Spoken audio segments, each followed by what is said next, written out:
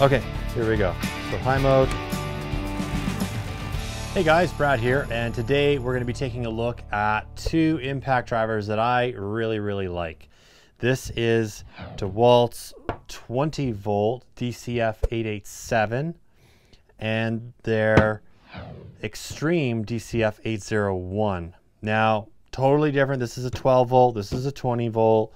I know you can't really compare them, but this is my go-to impact all the time. It's brushless.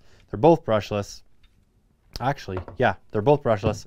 And this has been my go-to for a really, really long time. It's got lots of power. It's got the three modes on it. I really love it. It's XR and it's nice and light, compact, and it gets the job done. Now, I recently got this extreme version, which is a 12 volt, and it's got the 2 amp hour battery on it, and it's a lot smaller. It also has a different function on the top. And uh, I want to say before I get into that function, make sure you subscribe and hit that notify bell and give me a thumbs up if you like the video. And make sure you leave some comments down below because you know, there's been lots of chatter, lots of conversations with dudes who are asking about both of these and which one do you go for and, and all that stuff. So I think for me, there's a very specific reason why I use this impact and a very specific reason why I use this impact. But let's get back to this. And I guess this is my specific reason. For right here, when you press this button and you're on the first mode, this is really, really good if you're into cabinetry and you don't want to over screw your, you know, Blum hinges or something like that. It's very, very um, precise and dialed in on the impacts. And the RPMs are really, really low on it. The RPMs, I'll just go over that on this model, on the DCF 801, are 0 to 950 RPMs on this first level. And then when you switch to low, they're 0 to 1,950. And then on high, they're 0 to 2850. So that's the RPMs. And then the max uh, impacts per minute on this are 0 to 3,600. So when we come over to the 20 volt, we've got for RPM 0 to 1,000 on level 1. Level 2, we're looking at 0 to 2,800.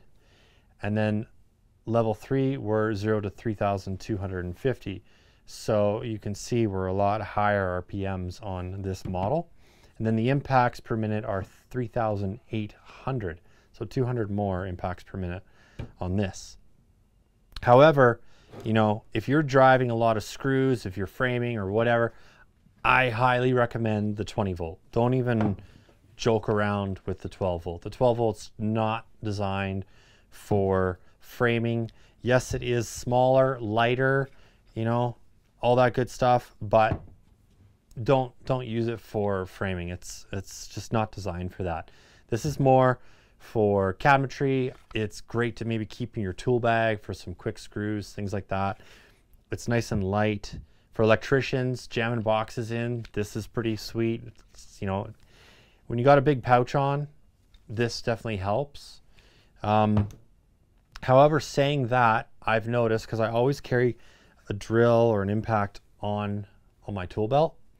I've noticed that because this is lighter, it kicks off a little bit easier. And I find I've dropped this a few times, or this one's just got a little bit more weight, so it's it's staying on my belt just a little bit better. And I, I rarely drop this one, and this one I've already dropped, I think, like three or four times in one day. So something to be said about just having a little bit more weight because it just it wants to sit there a little bit nicer. Now they're both two amp hour batteries. And like I said, this is a 12, this is the 20. So we're just gonna drive a couple screws in here in each mode so you can kind of see the speed. And obviously the 20 volt is going to destroy the 12, but it's just a nice comparison if you are thinking about getting this over this, if you're if you're new to the impacts or or if you're just thinking, you know, is it worth it? So that's kind of what this whole review is about. If you want specific reviews on each of these, we've got them down below. Uh, so check them out. All right, let's do the 12 volt first on the high mode. And then we'll jump right into um, this one on the high mode. I'll just go back and forth. I'll just preset a couple screws here. All right, make sure that's on level three. Okay, here we go. So high mode. Mode on this one. See the difference? Massive, massive difference. You can't even compare. I mean, if you're framing, like I said, don't bother with the 12 volt. Now let's do level two.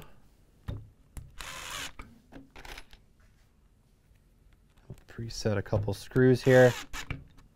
All right, level two.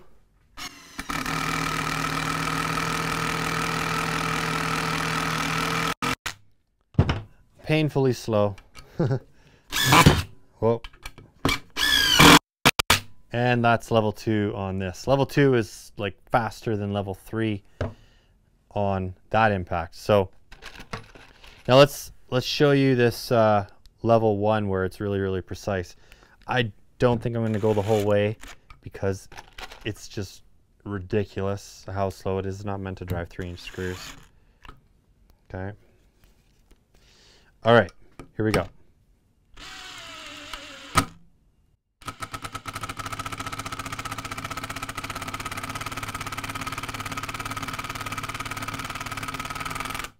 So did you see the pause there? It pauses. I'm not exactly sure why, but I think it's just sort of calibrating how much torque and it just kind of does its thing. See, stop, and then it keeps going. So not designed for three inch screws. Now do level one on this 20 volt.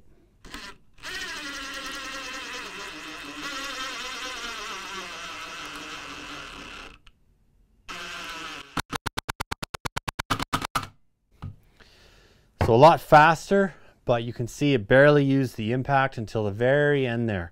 So it's got a lot more control. I don't think I've ever used level one on this impact. I'm always level three, just giving her all the time.